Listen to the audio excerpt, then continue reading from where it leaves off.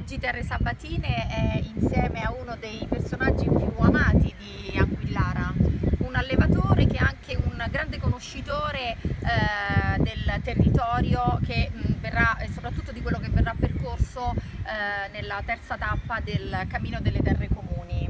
Eh, quindi la sua esperienza e la sua narrazione è fondamentale per conoscere proprio il territorio che percorreremo domenica prossima.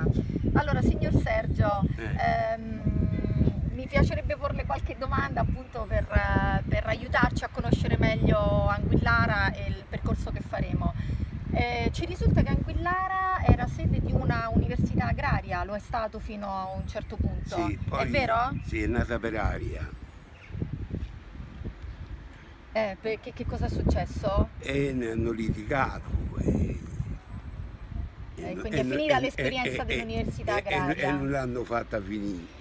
E quindi mh, questi, questi usi civici, queste terre comuni, queste proprietà collettive, Eh. eh, come e a chi sono state destinate, a chi sono state assegnate? Sono state assegnate alla, ai cittadini d'Anguillara. E Perché mi raccontava un tempo era più semplice ottenere sì, facevano- donazione queste terre, no? facevano delle spartizioni magari prima un po' maligne perché davano la terra a tutti.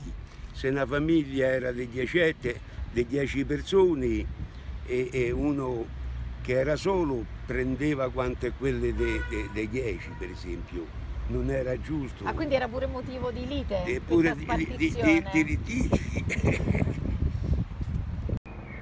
che eh, la proprietà era di loro e poi piano piano con i scioperi eh, andavano lì a, a prendere questi pezzi di terra e gliel'hanno data eh, diciamo, a semina Ah, cioè, c'avevano un turno, la do- la dovevi tenere per due anni. Uno ci metteva il grano e l'altro ci si metteva l'orzo, qualunque cosa, insomma, pure le lenticchie, Certo, per certo. dire i ceci, i fagioli, ci mettevano tutto. Questa per, questa per migliorare la produzione, no? eh, Perché eh, eh, eh, certo. Le terre, diciamo, sono venute così, insomma, non, tutti, de- non di tutte le parti. C'è Valle Facciano e c'è Spanora mhm. che aveva questo problema di Torlonia, che aveva pure un diritto, te, te- te la, te la faceva seminare due anni, eh, un anno a grano, un anno a orzo oppure altre cose. Mhm. Sì, eh, però era sempre di loro la terra.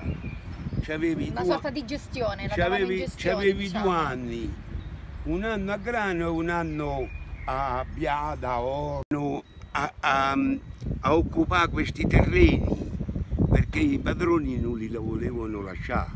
Eh?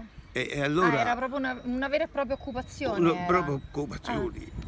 Eh, sì. E dove passavano questi terreni delle proprietà collettive? Se lo ricorda? Beh, c'è Valle Facciano, c'è i Sordi Lunghi, Spa- Spanora. e sì, dunque, più o meno è quello che eh, percorreremo. do- Saremmo ore a sentire i racconti del signor Sergio Pierdomenico, Eh. però a questo punto la salutiamo, la ringraziamo e diamo appuntamento a tutti a domenica Ah, eh, per conoscere eh, le terre appunto di cui abbiamo parlato ah, volete a andare sul posto?